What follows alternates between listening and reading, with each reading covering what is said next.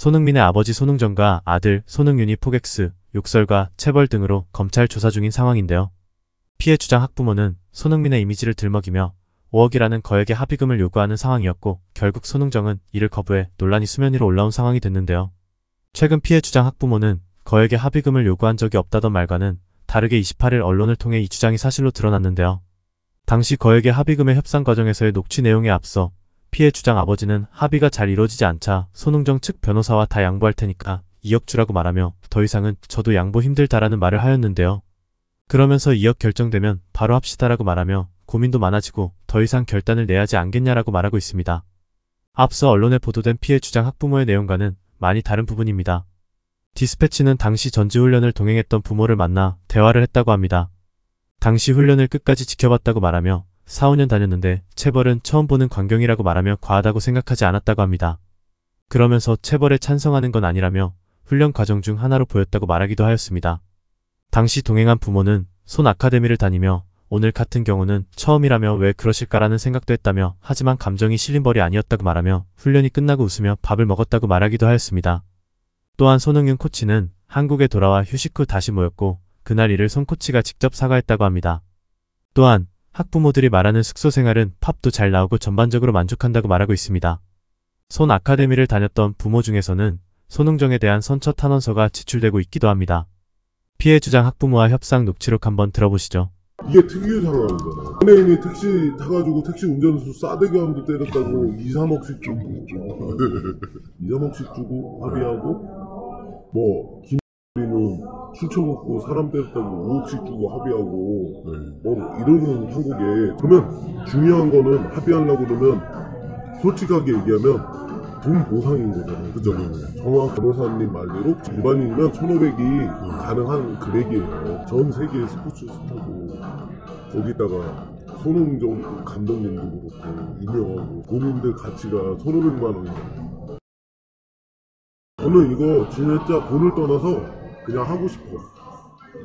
예? 그냥 언론사든 축구협회든 해서 아예 그 거기 자체를 없애버리고 싶은 마음이에요. 솔직하게 부모 입장에서는 화가 나니까 아무리 몰라도 저도 변호사 지금 해갖고 얘기할 거 아니에요.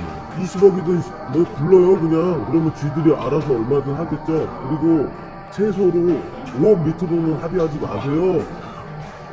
어 진짜 농담 아니고 진짜예요. 아, 어떤 변호사님이요? 아니요. 아, 저한테 알려주세요. 아니 아니요. 제가 변호사님이네요. 아니 아니. 본인들은 얻을 거 다 얻는 건데 그렇게 그렇게 되면 비용으로 그냥 환산을 하면 이게 어마어마한 액수 아닐까 싶어요. 아, 네, 네. 첫 번째. 근데 이제 자존심이라는 게 벌써 이미 다 상했잖아요. 왜? 고소하기 전에 몇 번이나 원지를 했는데도 거짓말 계속하고 우겼잖아요. 그래서 고소했고 네. 얼마 전에도 변호사님하고 손흥윤하고 네네. 손흥민 코치님하고 해서 만났잖아요. 근데 손흥민 코치님 거짓말을 하더라고. 애들이 뭐 요구라고 뭐 뭐를 해갖고 혼냈다는 식으로 이렇게 나왔는데 제 아들은 제 아들이라서가 아니라 여기가 촌이잖아요. 집하고 학교하고 뭐 학원 이런 것밖에 몰라서 욕하고 무학스러운 애가 아니에요. 되게 순진하네. 정말로 순진해요. 그냥 어, 사과 받기에는 본인들이 너무 늦었어요. 만약에 세상에 안 하고 그냥 합의하고 좋게 한다 그러면 지금은 만약에 하면 돈뿐이 없잖아요. 솔직하게 얘기해서. 저는 조금 받고는 절대 할 생각 없고요. 만약에 한다 그러면 저 돈 없어도 돼요. 저 사업체 많고 지금 뭐 옛날처럼 뭐 몇백억 있지는 않지만 저도 힘들지만 5억 이상은 뭐 저는 받아야 된다고 생각해요. 이거 다 비밀로 한다고. 안 그러면 합의할 필요도 없고 저는 안 해도 돼요. 엄밀히 따지면 합의라는 거는 네. 정확히 말하면 그 피해자에 대한 피해 회복이고 정신적인 의자를 말하는 거니까 애들은 아, 그리고 나- 또 이제 민사소송 갔습니다. 손해배상도 어쨌든 1,500이 맥심이에요. 제가 만약에 반대 입장으로 그런 상황이면 10억도 안 아까울 것 같아요. 돈을 액수를 떠나서 네. 만약에 이게 진짜로 그냥 합의가 되든 안 되든 해서 터졌어. 터져서 뭐 축구협회에서도 징계 나오고 뭐 해갖고 다 터졌다고 치자고요. 네. 그냥 자기들 이거 언론이고 뭐 이미지 메이킹이든 뭐든 쓰는 비용 자기들 이미지 값이 1,500, 2,000이에요? 그리고 제가 하고 싶은 대로 하면 좀 되는데 심- 아니 아니요. 그건 심한 거 아니에요. 아니 생각해보세요 지금 이적한다 뭐한다 유튜브에서 뭐 4천억에 이적한다 2천억 근데 엄밀히 따지면 생각해 보시면 아니, 아니요. 이건 손흥민 그건 선수 소- 일이 아니, 아니에요. 손흥민 선수 일이 아니어도 손흥민 감독님이 그 에이전시를 본인이 차려서 본인이 하잖아요 그리고 근데 그건 아카데미잖아요. 아카데미는 별도의 또 그건데. 손흥, 손흥 정 감독님하고 손흥 누나하고 바뀌어 있는 거잖아요. 그건 누가 하던 상관이 없어요, 저는. 근데 이런 걸 비밀을 다 보장하면서 나 같은 피해자가 또 나올지 안 나올지도 모르고 세상에 묻히고 그냥 항구해야 되는 상황인데 이렇게 유명한 사람들이 이런 사람들이 이런 행동들을 하고 입장을 생각해 보세요. 본인이 피해자고 하면 내가 만약에 변호사님이었잖아요. 아, 저는 뭐 5억에도 안 할 것 같아요. 합의를 한다 그러면 돈이 중요한 건데 그만큼의 자기들 이미지 실추랑 다 막아 5억 가치도 안 돼요? 아니 근데 제가 말 합의라는 건데 그 아이의 초점이 된 거잖아. 아이의 정신적인 피해를 회복하는 아니요 아니요 그런 정신 피해는 다 지났죠. 왜 부모의 정신 피해도 있고 하- 아이 아이로 계산하면요 1,500이 맥심이에요. 변호사님이 얘기하는 게 최고지. 아이한테 보장할 수 있는 금액은 그 정도뿐이 안 돼요. 무슨 말씀하시는지 이해하는데 특이 상황이잖아요. 그럼 연예인들은 뭐 하려고 5억 3억씩 주고 합의하나? 자기들 이미지하고 마케팅 때문에 그러잖아요. 변호사님, 제가 자격증이 뭐 그렇게 많은 건 아닌데 탐정하고 경비, 경비하고 경호하고 뭐 이런 거 저러고 쓸데기 없는 자격증들도 많고 제가 선배들이 공무사들하고 경찰들하고 현직 경찰들하고 뭐 해갖고 많아요. 원래 꿈이 군인이나 경찰이어서. 저도 손흥정 감독님 못지않게 성질이 날려서 합의금 많이 준 사람이에요. 뭐 합의금이라는 건 정해진 것도 없고 뭣도 없지만 본인들의 값어치가 만약에 진짜로 5천만 원이다. 5천만 원짜리 인생인 거예요. 그 사람들은. 엊그저께 1,500 얘기하시길래 제가 속으로 아이 사람들은 자기네 값어치가 1,500인가 보다. 뭐 1억만 돼도 와 1억으로 근데 5억은 좀 심하지 않습니까? 음, 아니요, 안 심하다고 본것 같아요. 저는 20억 안 부르는 게 다행인 것 같아요. 저는 안 해도 돼요. 어. 제가 얘기했잖아요. 돈이 중요해서 하는 거 아니고, 제가 말씀드릴게요. 제가, 저도 한 200억 넘게 있었어요. 그러니까 5억은 있어도 되고, 없어도 되고, 10억도 있어도 되고, 없어도 되는 돈인데, 제 입장에서는 그만큼 유명한 사람들이 그만큼 비밀로 해서 할 거면, 그만큼 해서 합의하라 이 얘기예요. 아니요, 이거 10억 얘기하고요. 만약에 인터넷에 글을 띄웠어. 이런 이런 사건이 있고, 이렇- 이렇다고. 합의를 하려는데 얼마 받을까요? 그럼 음, 댓글 뭐라고 나올 것 같아요? 100억 불러라, 30억 불러라. 자기 일 아니까 그러겠죠. 본인들 가치를 생각하고, 비밀 보장하고, 그냥 여기서 묻히면, 10억이든 5억이든 아까울 게 없다 이 얘기예요. 본인들 이미지 타격 없고 그냥 아무것도 없이 여기 정리하면 5억도 싼 거 아니냐. 제 입장에서. 아니, 아 그냥 그냥 픽스 금액인 거예요? 아니면은 아니. 뭐더 이상 협상의 여지도 없어요? 거기에서 진짜가 뭐 사과가 있고 뭐가 하면 그 밑으로도 상관없어요. 내가 솔직하게 얘기할까요? 축구 하면 친구 감독도 있고 뭣도 있고 그러니까 축구협회가 넣으면 어떻게 되냐 나는 안 물어봤을 것 같아요. 자격증 정지 또는 취소잖아요. 언론도 막 축구 그런 것도 다, 다 하는데 5억이든 10억이든 그 꿈이 아까워. 아 근데 왜 계속 5억 이야기 하시는 아니 거예요? 아니요. 내가 밑으로도 근데 지금 대- 상관없다 하시잖아요. 밑으로 상관없으신 거 맞아요? 우리 나이 다 있으세요? 없죠, 없어요. 담배나 하나 태우고 네. 네네 5, 5억 얘기하세요 저기다 안 해도 상관없다 했던데 저는 이거는 돈이 아니라 자존심이에요 이제 뭐 5천이든 1억이든 합의했다고 치자고요? 언론이든 어디든 보도에, 보도되든 뭐하든 신경 안 쓰실 거면 그냥 그렇게 하셔도 돼요. 그러면 2천만 원 3천만 원에도 합의할 수 있어요. 뭔 얘기인지 아시죠? 비밀을 다 보장해갖고 이런 큰 중대한 사건들이든 뭐든 다 보호해서 본인들 이미지 아무 탐욕 없이 합의하고자 하는 사람들이 이건 제, 제 생각이에요. 10억도 안할것 같아요. 20억 얘기할 걸 그랬나 보다. 그래서 뭐 10억, 어? 5억 깎아주고. 그러면은 뭐 비밀 유지 조항 없이 그러면은 2천만 원은 안 돼요? 아니 변호사비도 넣고 뭐 하고 나면 뭐 남는 것도 없는데. 아 그럼 변호사 비용까지 3천 비밀 유지 조항 없이 응, 아니야. 그냥 되게 괜찮아. 안에 제가 무슨 처벌 불원서까지 합의서 쓰면 다 해갖고 뭐 다 해주고서 뭐 하려고 그런 짓거리를 해야 되는지 난 이해가 안 가요. 제가 말씀드렸잖아요. 에이, 피해 회복인데. 그거는. 제가 제 차에 가방 하나 있는데 하나 갖다 드릴까? 한 받을 돈이 한 70억 넘게 있는데 돈이 없는 사람들한테 예를 들어서 제가 뭐 이런 상황이에요. 근데 돈을 크게 요구하면 잘못된 사람 맞죠? 진짜 못된 사람이에요. 근데 그런 거 아니잖아요.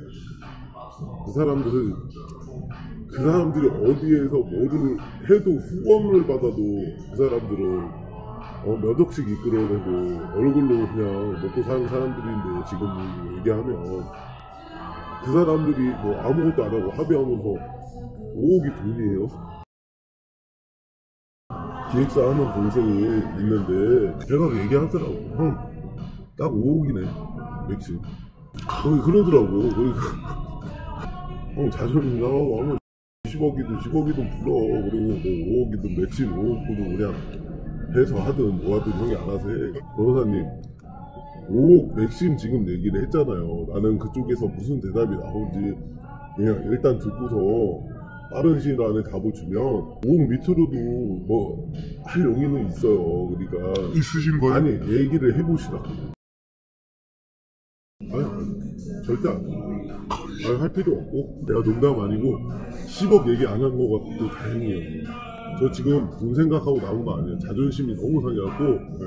그냥 무슨 얘기 하나 들어보러 나왔는데. 만약에 5억을 서슴 없이 코드를 해서 줬어. 네. 근데 내가 변호사님 1억 드릴게. 저는 상 그거 농담이 아니고 네네. 돈이 중요한 게 아니라 저는 그냥 그래요. 변호사님이 담당 검사든 판사든 잘 알아갖고 처벌이 한방만에 처벌이 나올지 뭐 할지는 모르겠죠. 합의를 안 하게 돼서 처벌이 어설프게 나오면 저는 뭐 어, 이의 신청해갖고 재심 가야 돼. 만약에 끝까지 간다 그러면. 저도 사업을 이렇게 했는데 재판 뭐 한두 번 했겠어요. 잘 얘기해 보시고. 솔직하게 뭐 합의한다고 그러면 많이 받아야지 뭐. 돈돈이 더 있어요. 자꾸 그렇게 하시면 나 5억 밑으로는 진짜 안 해요. 저는 안 알아봤을 것 같아요 10억이도 얼마든 불러갖고 최소로 5억으로 합의하라고 누가 한다고요 그래 누가? 아버 형 진짜 사람 죽었을 때 이러게요. 그럼 유튜브 한번 쳐볼까요? 유명 연예인들 뭐 사고 치면 합의금 얼마 했는지 아이고 저 변호사님 뭐 아시면서 뭐 똑같은 얘기를 5억 얘기하시고 변호사님이 중간에서 일 열심히 한 것처럼 얘기하시고 3억에 정리하시고 그렇게 하시면 할게요 어뭐 빨리 넣어야 될 거 아니에요 넣으실 거는 합의하는 거는 1억 안 돼요, 1억. 아, 제가 얘기했죠. 돈 중요하지 않다고. 저 채권만 지금 한 60억 있어요. 변호사님한테 따로 그것 좀 맡을까? 제 얼굴 봐주셔서 1억은 진짜 안 돼요. 아, 절대 안 해. 어제도 법무사한테 3천만 원 주고 채권, 채권이랑 받을 거 제가 회사 에이전시도 하고 있어요, 저도. 지금은 방송으로 물건을 판매하니까 계약 위반하고 뭐하고 뭐하고 한거 소송 지금 인사소송들을 개개인이 다 들어가야 돼가지고 그것도 다 맡겨놨어. 저도 운동했고 기고 아니, 아니니까 만약에 변호사님 안 오고 네. 뭐 손, 손아카데미에서 왔잖아요. 네. 어, 저는 10억 얘기했어요. 그래서 5억이든 얼마든 그래 합시다 이렇게 했을 것 같은데 변호사님 생각에서 5억 얘기하고 내가 3억까지 할게요. 이렇게 얘기한 거지. 거기 밑으로는 진짜 할 생각 하지 마시고 안에 할 필요도 없고. 사람이 뒤져도 뭐 1억 그거는 나라에서 정말 그냥 최고의 보상금 뭐 이런 식으로 한 거지. 정해진 게 없- 합의금이라는 건 기준이 없다고요 기준이. 저는 안 알아봤겠어요 뭐 여- 유명 연예인 20억도 받을 수 있고 30억도 받을 수 있고 뭐 아, 사람에 그거 따라서. 20억 아니 아니 사람에 따라서 뭐 2, 30억도 받을 수 있는 거고 5억도 받을 수 있는 거고 어? 100억도 받을 수 있겠죠. 천만 원도 받을 수 있고 안 받을 수도 있고. 그건 다 다르니까. 만약에 협의 되는 대로 하실 의향이 있으시냐 물어보면 그냥 해 그러면. 그러면서 그럼 그때는 변호사님이 알아서 해서 조절해서 하면 되죠. 그래서 만약에 진짜 5억 그냥 줘 주고 해결해. 그냥 그러면 내가 진짜 이거 비밀인데 1억 드릴게 그냥 현금으로 아 됐어요. 싹싹. 그거 삶을 테니까 1억까지 좀 해주세요. 절대 안 해. 너는 네 자존심이야 자존심. 안 받아도 되고 5억도 있어도 되고 없어도 돼. 3억도 없어도 돼. 돈이 없어도 즐겁게 사는 사람이야. 행복하게. 만약에 일반 사람이고 일반 코치로나 일반 사람이었으면 또 와서 싹싹 빌고 하면 합의해 줄 수 있어요. 근데 유명인을 믿, 믿었고 팬심이고 뭐고 막 진짜 그랬는데 너무 배신감도 크고 진짜 너무 괘씸한 거야. 금액이 딱 했을 때 엄청 충격적으로 받아들일 거잖아요. 아니 사실. 아니야 충격적이진 않을 것 같은데 본인도 예상하실 것 같은데 5억도 싸게 부르는 거라고 얘기, 예상할 것 같은데 그 정도는 알고 계시겠지 어, 특이 상황이고 얘기 예를 들으세요 이쪽에서 뭐 연예인 합의금 베스트에 하고 택시기사 싸다고 몇 대 때리고 3억 주고 5억 주고 막 이런 거 뭐, 모르세요? 실제로 그렇게 해서 이루어져 들은 게 있어서 이렇게 일단 진짜 이미 소문이 다 퍼져갖고 합의를 했어도 기사화가 다 돼버렸는데 손흥정 감독님만 잘못된 게 아니잖아요. 손흥정도 잘못되고 손흥정도 집 어마어마하게 크게 사갖고 지었다며 하여튼 해가지고 얘기를 잘 해보세요. 답을 주시면 저는 얘기할게요. 변호사님이 진짜 되게 열심히 중간에서 잘 하셨다. 입장 바꾸시면 진짜 5억도 싼 거 아니에요. 본인들 이미지든 어떤 생각한다면 아 10억도 모자르래 진짜. 저 사업했던 사람이라 이미 사업 지금 좀 사업만 하고 있는 사람이라 이미지라는 게 돈 주고도 못 사는 거 아니야. 한 번 실추하면 끝나는 건데 그걸 바꾸자 하는데 5억 10억이 아까워. 근데 그러면은 어, 아버님 같은 경우는 그러면 10억 이야기했을 때 어떤 반응 나올 것 같으세요? 입장 바꿔서 이러겠지. 그 미친놈이네. 보고 돈, 돈 받으려고. 그- 그- 그- 그렇게 나오겠죠. 근데- 자기들 그런 위치나 자기들 이미지 뭐 이런 거는 생각 안 하겠지. 근데 짜증나면 더 올라갈 수도 있으니까. 그러니까 얘기 잘 해보세요. 그리고 이 부분을 얘기를 정확하게 하세요. 여기 상대방 아빠는 손흥민하고 손흥정 감독님의 진짜 극성 팬이었는데 이런 이런 이런 부분 실망감이고 그리고 이쪽 얘기 들어보니까 어 이, 여기 이쪽 감독님의 이미지 값이 이것뿐이 안 되냐 왜 일리가 없는 이야기는 또 아닌 것 같다 얘기하시면 되지 뭐 손흥정은 아카데미에서 일어난 욕설과 체벌을 인정하며 한 것을 하지 않았다고 할 생각은 없다고 말하였습니다. 그러면서 피해 학생에게 다시 한번 마음의 상처를 받은 아이에게 미안하다라고 말하기도 하였습니다. 손흥정은 시대의 변화와 법에서 정한 기준을 캐치하지 못하고 내 방식대로 지도했다 라며 반성하기도 하였는데요. 하지만 피해 주장 부친의 주장에 대해서는 확대, 왜곡, 과장이 있다고 말하기도 했습니다. 검찰의 조사 결과가 나오면 알겠지만 요즘 부모들의 문제가 좀 많은 것 같습니다. 아이 가지고 한탕하려는 속셈으로 밖에는 안 보이는 건 저만 그런 걸까요? 적당한 체벌은 동기부여에 도움이 될 수도 있겠지만 이 세상 어디에도 적당한 체벌로 정리되는 곳은 없지 않을까요? 하지만 요즘 말만 강압적으로 해도 아동학대라는 말이 나오고 뭐 하나 잘못된 게 나오면 법으로 만들고 그러면 결국에는 이걸 이들이 다 져야 하는 것인데요.